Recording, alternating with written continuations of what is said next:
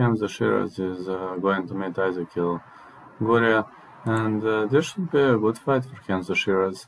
He is a World Boxing Organization Super Welter title owner. He holds victories over Ryan Kelly, Paul Keane, Vida Nicolas Pito, and the guy is a finisher.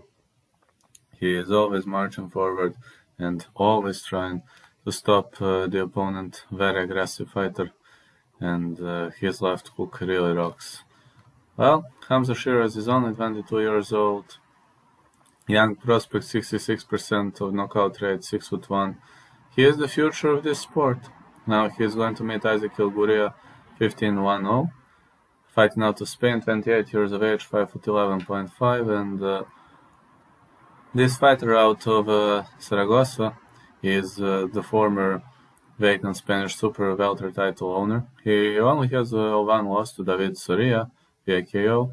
But uh, prior to that, he defeated uh, Johnny Vina, Nelson Altamirano, Fernando Heredia, Rafael Chiruta, but uh, let's be honest, the majority of his wins came uh, via unanimous decision, which means he is very, very strong in the later rounds. Look at the competition he competed. I mean, Hamzah Sheeraz fought uh, stronger guys.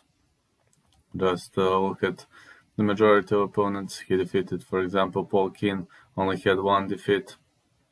Ryan Kelly had two defeats. Nicolas Pito had seven defeats, but uh, Isaac Elguria on the other side against undefeated David Soria, he didn't do well. Also, he defeated Johnny Vina 9-4. I think uh, Hamzah fought uh, stronger competition, and I think he has good chances to defeat Isaac Elguria. So I'm gonna go with Hamzah Sheeraz here. The fight takes place in England, so you know what that means, right?